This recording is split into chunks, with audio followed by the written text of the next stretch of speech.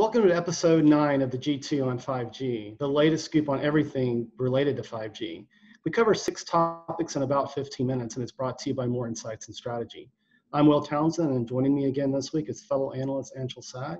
So let's get started with my first topic.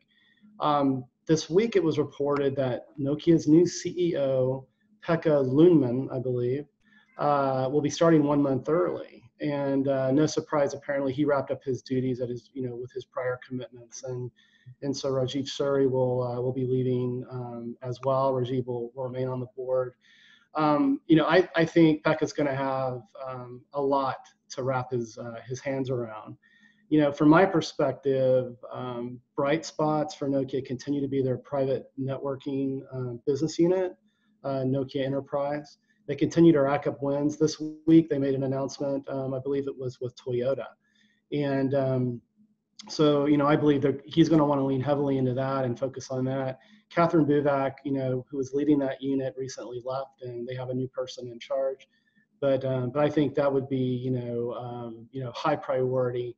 And then you know recently there's been a lot of uh, you know discussion around Nokia's focus on Cloud RAN and Open RAN and um, you know that can be challenging. It can be a double-edged sword. I mean it's going to bring agility you know it's going to bring um, you know capex savings to to operators but it could also potentially eat into um, their traditional radio access network equipment. What, what are your thoughts about all that Anshel well i think i think it's important that they do have a new ceo as soon as possible. Mm-hmm. Um, i think i think one of nokia's biggest problems is they've been having a lot of changes of the guard um, mm-hmm. in the mm-hmm. executive suite, not just the CEO. Um, and I think that's been an issue for the company because you know it's hard to know where the company's going when when the leadership keeps changing. Um, mm-hmm. Um, so I think they need to s- decide on who they want to run the company and stick with it. Um, and I think it's going to be really important for them to push uh, Open RAN hard and mm-hmm. you know really get momentum on that because um, you know, there's a lot of pushback on it from the incumbents. Yeah. And um, for obvious I reasons, think, yeah. And I think I think the the big thing is going to be, you know, who's going to be the operator that tips the balance mm-hmm. in a way that helps Nokia. Um, because I think if you look at the market today, you know, Open RAN is still kind of a, an experiment mm-hmm. when it mm-hmm. comes to you know production environments. Yeah, it's been in um, trials. Yeah. Right. So I, I think that um, there's a lot of promise uh, and there needs to be more execution. And really, I think what they need is a, you know, a big operator to adopt it and mm-hmm. to embrace it. But I think the reality is, is that a lot of the, you know, legacy infrastructure guys are going to do everything within their power to keep, uh, you know, the, th- the maintain the status quo mm-hmm. and keep their customers happy and encourage them to stick with them. Yeah, yeah, it's certainly a potential differentiator for Nokia. I mean, there, there's no question they're they're trailing, you know, um, Ericsson and, and Samsung and even Huawei. Um, so it'll be interesting to see how that all plays out. But let's uh, let's shift topics. Let's talk about your first topic this week. And um, you did a little bit of research and uncovered a report by the GSA related to millimeter wave spectrum. So why don't you take us through that?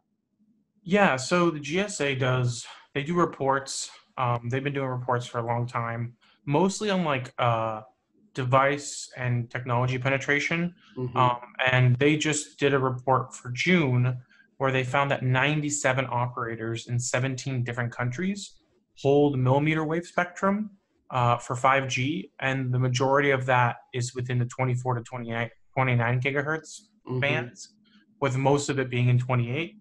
Mm-hmm. Um, and the reality is is that while millimeter wave does not solve a lot of problems and has a lot of problems on its own, um, mm-hmm. um, I think that a lot of people have decided to hammer at millimeter wave and its and its weaknesses today, mm-hmm. rather than consider what its prowess and potential could be in the future when mm-hmm. implemented and deployed correctly right. with you know the right backhaul and um, you know the right types of devices utilizing it. Um, but I, I, think you know it's harder to see that in the in today's COVID environment when everyone's mm-hmm. isolated. But the reality is, you know, this will end eventually, and people will start to you know recongregate in dense you know capacities, and as a result, millimeter wave is going to be absolutely necessary to be able to serve you know thousands of people at the same time. Because the reality is today, 4G just does not cut it in in a dense environment. Once you mm-hmm. have over a couple hundred people on the same cell site, it's done. So, yeah, yeah. Um, you know, even if you start splitting them out, you need you need millimeter wave. You need to get people on and off quickly. You have to add capacity, mm-hmm. um, and you know, 97 operators. Um, I don't think 97 operators would invest in Spectrum unless they really believed that there was a long-term future for it. Yeah, yeah, I agree. And you touch on backhaul, and um, as many people know, um, with millimeter wave, you you got to build density, right? And that's that's an expensive proposition. And you know, you're seeing the U.S. you know from a global perspective lead and, and focusing on millimeter wave. When you look at uh, T-Mobile and, and AT&T as an example, but but it's quite costly. And, and I agree with you. Uh, having nearly 100 operators globally that own those spectrum assets mean that they're going to eventually do something with them. But you know, I, I, think when you look in Europe and you look in you know in China, um, they're focused on deploying in the low and mid band to get you know that that wider coverage area for obvious reasons. Yeah, cover those dense populations. The one thing I'll add is, um, I think if you look at where population centers are at and where mm-hmm. the majority of these companies' customers are located, um, millimeter wave is how you serve the majority of your customers in mm-hmm. dense urban environments. The sure. suburban environment is where you're going to, you know, use mid band and low band, and right. rural is going to be mostly mid band and low band as well. Right. But you know, in the in the in the city centers, you need millimeter wave, and I, I think everybody realizes that. Yeah, no, it's going to be critical. Well, let's shift to my second topic this week. And uh, HPE held its signature Discover event it was virtual, like many other events have been virtual um, given COVID 19.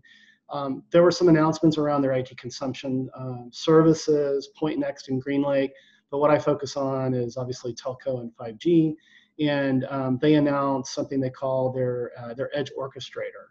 And the whole idea is, you know, HPE and Aruba are, are trying to bring the cloud and the network edge together um, to, you know, create, you know, transformation um, for organizations and support use cases like autonomous driving.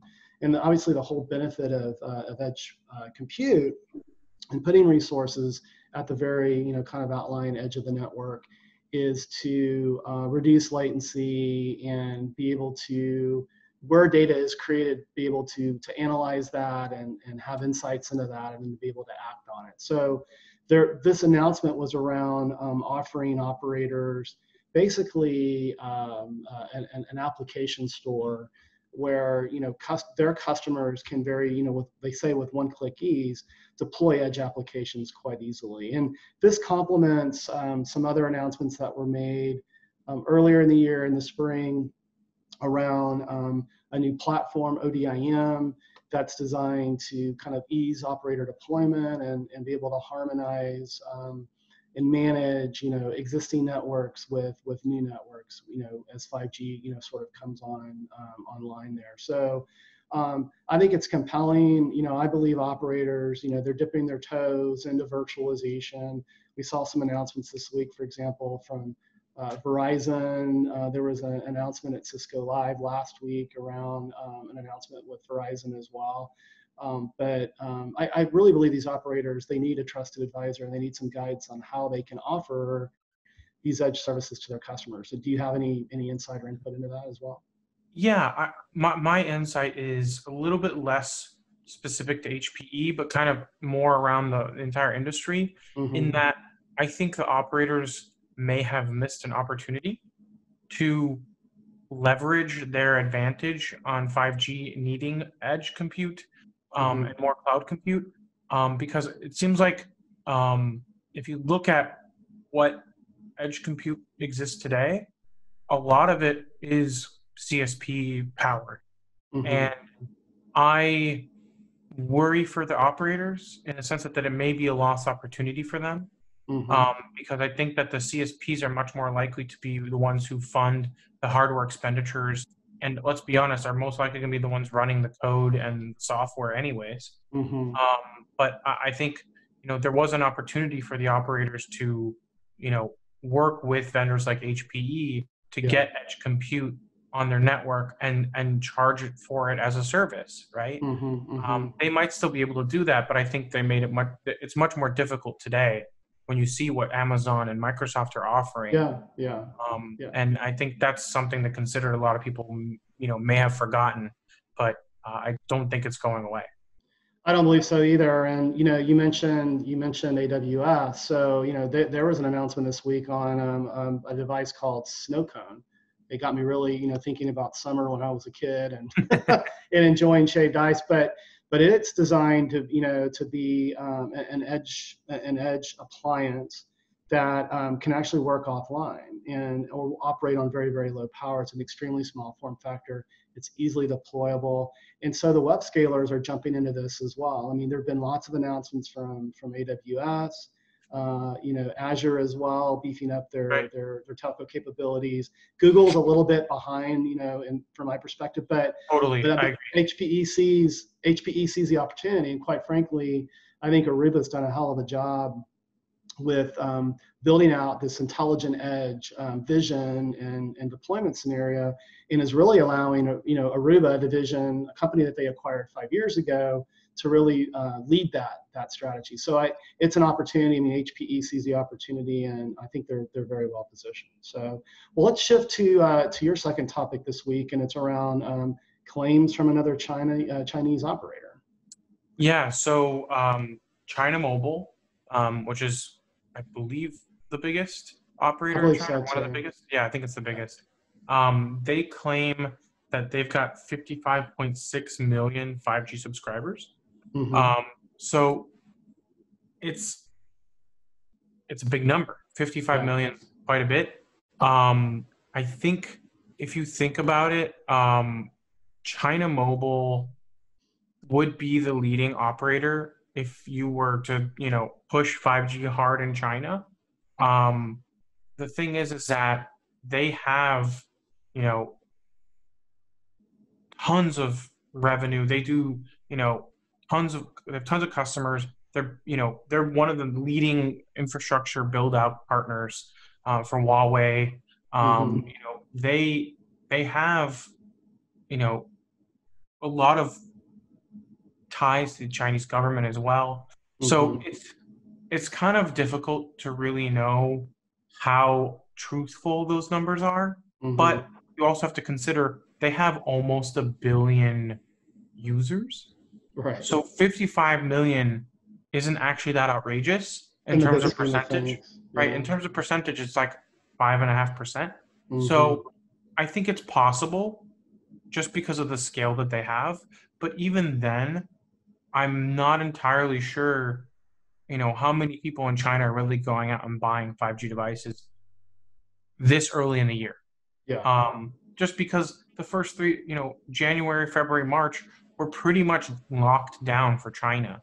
So it's That's almost like saying that, you know, they got 55 million in a quarter, which is why I'm a little bit hesitant with those numbers. Mhm. But I, I'm, I'm going to give them the benefit of doubt and say it's possible. yeah. I If they said we'll have 100 million by the end of the year, I could see that happening. Sure. Um, but saying they have 55 million already is a bit difficult for me to believe. But that said, you know, I'm not. I'm going to be the first one to welcome, you know, 5G momentum and Yeah. growth and subs- subscribers, right? Um, but this kind of backs up the 200 million number we talked about last week Mhm. because if they're already at 55 and let's say they they were in june so they probably will double it if not more Mhm. considering you know the pace of growth so they'll probably hit let's say 125 150 that's already uh, the majority of the 5g subscriber base that's expected by the end of the year Mhm. so um, i think it'll be pretty easy to hit 230 million global 5g subscribers by the end of the year Yeah, yeah, I would agree. And you know, and again, I, I talk about this quite often. Proof for me is in um, the actual applications that are going to be available. And I've talked about SK Telecom in South Korea, right. how they've been a real innovator and leaning into use case. And so, you know, for me, access is access. So it's it's faster, better, right? And maybe it's just that you know these customers. If they had 5G enabled devices prior to the pandemic, which I, I would find kind of you know hard to believe. Uh, Right. Uh, maybe it was just a flip of the switch, and now they've they've added 5G service to their plans. But Well, um, I, I think that one thing to think about is um, it's still E EMBB, right? It's not really, you know, the broad scale multi application kind of 5G that we're, mhm, we're expecting to see in the future. sure, Today, it's pretty much just phones and hotspots. Yeah, Um, I guess if you have the new Lenovo, it could be a laptop too, um, which we talked about last week as well. yeah, But um, yeah, I think I think it's just you know it's hard to develop new use cases when you're using the same types of devices. sure, Um, and I don't even think they're using SA yet. So I think really when you get SA, that's when I think you will really start to see some more unique use cases. I think most use cases early on are, are going to be mobile device smartphone based but I think mhm, it's going to be about how we augment video and how video is going to change because uploads improve and downloads improve. You can have much better real time communications. I agree. I agree. Just a final thought from my perspective on that. You touched on devices and form factors, and there was a, a a big to do with uh, the clamshell, the folding form factors, right? Um, that we've seen, you know, at you know at prior events. You know, um, Samsung has the Fold, Huawei, I believe it's the Mate X, and I think those form factors will unlock new use cases for like field service.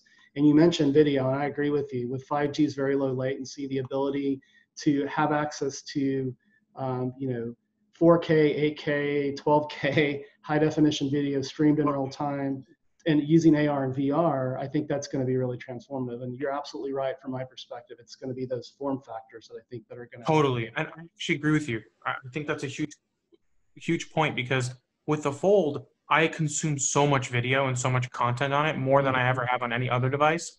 I even watched the um, MLS Cup final on the train home from LA. And there were some connectivity issues, very minor, a few blips in and out. I think it was because I was switching between markets, but it would have been great to have it in like you know full 1080p, you know HDR quality. It would have been amazing, but it was still good. At, and you know I, that's where 5G kind of elevates the experience, where it's no longer a unique thing, but it's daily. yeah. Um, I but yeah, let's let's move on.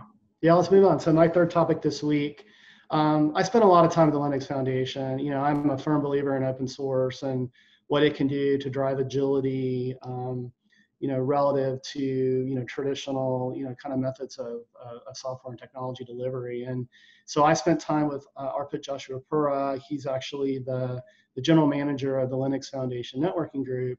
And uh, the Frankfurt ONAP release uh, came out June 18th. So we uh, well, I was a few few days late catching up with him on that, but this represents the sixth release. If you're not familiar with ONAP, it's it's the Open Networking Automation Platform, and it promises to bring just that automation to service providers and really supercharge 5G. And what what Frankfurt does is it it really brings um, a set of, uh, of hardened blueprints and, and, and tested solutions to bear. And what's really amazing, we talked about um, the number of uh, organizations that are a part of uh, this, this Linux Foundation working group. And when you look at the top 10, you know, I would expect them to be the traditional infrastructure providers, right? Like the Ericssons of the world and the Huawei's of the world. And they're certainly very participant and they contribute quite a bit. But Mhm. in the top 10, the majority are operators. And yeah, and AT&T is the largest contributor. And that's partly because part of a project that they were working on was migrated into the ONAP project. But um, but I think you know this is great. I mean, automation is going to be necessary to facilitate things like network slicing and self healing. And uh, and again, I think open source is very disruptive, and I've written about that on Forbes, you know, quite often. Any any thoughts on um, on ONAP? Have, have you had a chance to, to take a look at that? And I have not looked at the release, um, but now that we've talked about it, I will. Um, But in general, I think it's um, I think it's important, right? Because the, the truth is, automation is super super important for Mhm. stuff like network slicing, and that's basically a network function, right? It's right. it's re it's reconfiguring the network to be optimized for a certain use case, Mhm. and you can't do that, you know, manually, and you can't do Mhm. it um, without having really tight automation on your networking side. So Mhm. I, think you know it's an inevitability. It's a question of you know what gets built into the standard and how quickly, um, and who gets who adopts it. But I think you know the the point that operators are really about it is a big thing Mhm. because ultimately the operators are the ones who drive a lot of what gets adopted. Because if they Yeah. don't adopt it, then it doesn't get doesn't happen. Yeah, um, yeah. But yeah, I think it's interesting. Yeah, yeah, you know, and network slicing that's going to open up, you know, tremendous monetization opportunities for for the operators. You know, the the kind of the low hanging fruit in my from my perspective is uh, guaranteeing a network slice to uh, deliver a, a degree of latency for for mobile gaming responsiveness, right? Uh, Right. and there are a whole host, obviously, of enterprise, you know, applications there as well. So, you know, the, the reason why the operators are behind it is because they see the true monetization benefit. But let's shift to your third and, and final topic this week. And um, I know you I know you follow you know Washington and and news that goes on there, and you had some some information to share based on a Wall Street Journal article you read. Yeah, so the Wall Street Journal, I believe it was the article came out on the 25th. So yeah, June 25th. breaking. And basically what it is is it's kind of an update on what's been going on with the, the administration and them kind of pushing um, harder on securing our 5G networks by basically ensuring that the companies that are producing the hardware are based out of the US Mhm. or American companies or or friendly European allies, companies. right. Yeah, but yeah. but this this actually sounded more like they weren't even entirely convinced that you know European companies were good enough. Um, okay, in that interesting. uh, this update sounded like they wanted to have um, large U.S. tech companies acquire these European entities to um, secure their leadership and you know U.S. friendliness. Um, and pretty much everybody pushed back on it. Um, Right. They've been working. They've been pushing companies like Dell, Intel, and Microsoft to possibly um, you know meet up and talk about this but because Mhm. of COVID 19, they haven't been able to meet and talk it over. Um, they've also suggested that, you know, maybe uh, the vendors should open up their infrastructure or adopt open standards, which obviously is not in their best interest. Right. Um, and they kind of pushed back on that. Um, but I thought there was a really interesting quote um, from one of the, uh, I think it was Ericsson uh, executives, um, where he said that um, they don't expect to join this policy coalition, yeah. and that the that they that the governments shouldn't interfere with technical work that the private sector is well equipped to handle, um, Mhm. which I thought was very interesting because um, you know it's Sweden and they're definitely a little bit more socialist than the U.S. is Mhm. um, when it comes to social programs and stuff like that and government involvement. Mhm. Um, but I, honestly, I'll be the first one to admit I think it's kind of weird that the attorney general is getting involved in this any to begin with, yeah. Right. um, and Larry Kudlow as well. Um, I, feel like we should have a CTO of the U.S. I think we used to have one, and that should be the person Yeah. who should be handling this. Um, I just don't understand why the attorney general is involved at all. Um, and he's Yeah. not just lightly involved, right? Like he's quoted repeatedly in this whole situation. So it's very odd to me. Um, I, I think long term, what should really happen is, you know, if we truly want to have a secure network in the US and not have Huawei equipment or any, you know, Chinese vendor, we should be funding the growth of the competition. And um, I'm not sure that if that means investing in these companies, because I think that was discussed as well.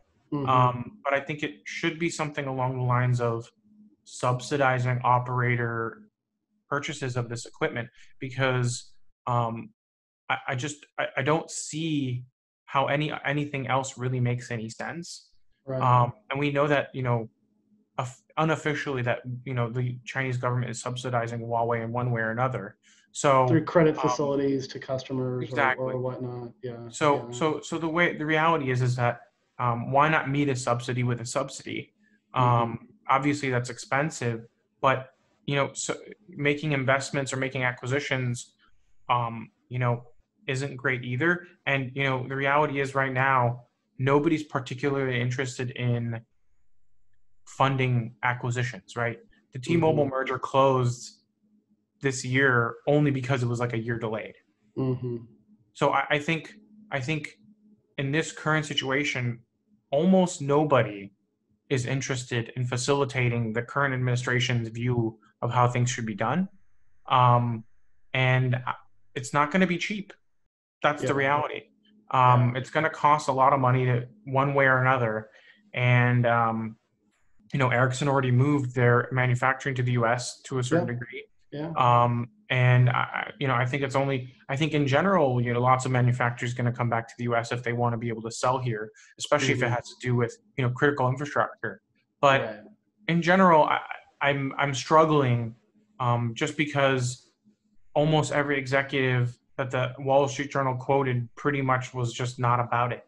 Right. And I don't know how how the government, well, this administration specifically, even knows where they're going with this if no one's interested in you know biting.